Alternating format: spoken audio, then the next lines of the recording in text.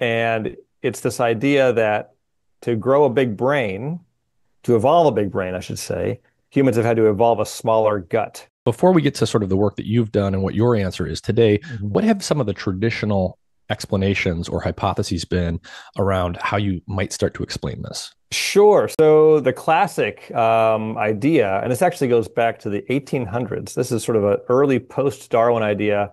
Um, the first, uh, I mean, even kind of pre-Darwin, like Goethe talks about this. But anyway, um, not with humans specifically, but the idea that there are these trade-offs. And so um, the first anthropology, human evolution kind of version of this comes out in the 1800s, but it really becomes uh, kind of canon it, with a really important paper in 1995 uh, by Leslie uh, Aiello, uh, Leslie Aiello, and um, Peter Wheeler, uh, and it's this idea that to grow a big brain, to evolve a big brain, I should say, humans have had to evolve a smaller gut. Mm-hmm. And so your gut, you know, different organs are sort of different in how many calories they burn per minute. Um, some energy, some organs are really expensive. We we talk about some organs are less so. But brains are really active and mm-hmm. really energetically expensive, and, and so are your your digestive tract and liver. And so the idea in this Aiello and Wheeler paper in 1995, uh, they say, well, humans have evolved a smaller gut,